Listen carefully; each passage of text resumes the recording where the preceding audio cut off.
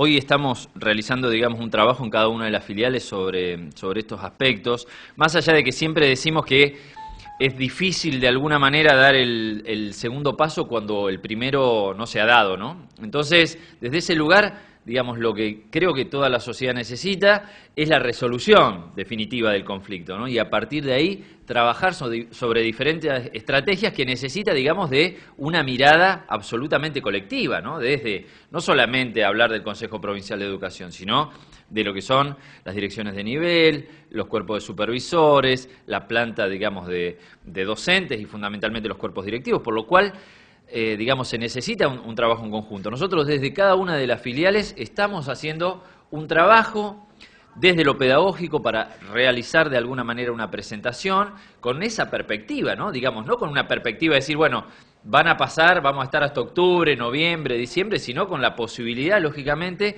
que la resolución sea cercana. Creo que es lo que todos estamos esperando, ¿no? Me parece que es lo, lo esencial y lo que debería suceder. Nosotros estamos trabajando, estamos tratando de firmar convenios, estamos tratando de trabajar en cada una de las escuelas, eh, por lo menos digamos de, los cuerpos docentes, de las localidades, para ir previniendo situaciones que sabemos que se van a dar a, futuro.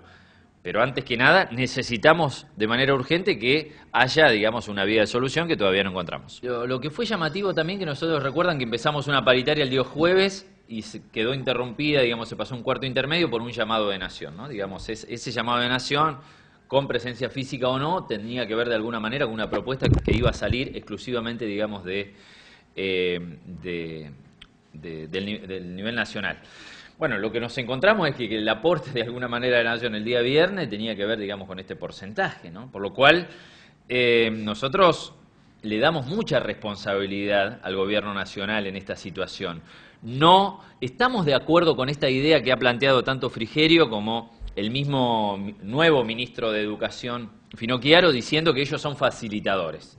No, acá no son una tercer pata, digamos, eh, como si fuera de alguna manera algo eh, por afuera de una discusión exclusivamente entre el gobierno provincial y ADOSAC, o los gremios docentes. Acá hay un gobierno nacional con la misma responsabilidad porque hay un ministro de Educación del país, no de una provincia ni de una jurisdicción. Por lo cual, digamos, las responsabilidades son compartidas. Estamos por cumplir 90 días sin clases en la provincia de Santa Cruz. 90 días sin clases. No solamente la responsabilidad de los gobiernos, sino también nosotros consideramos que es muy importante la responsabilidad que tienen que tener también las centrales educativas.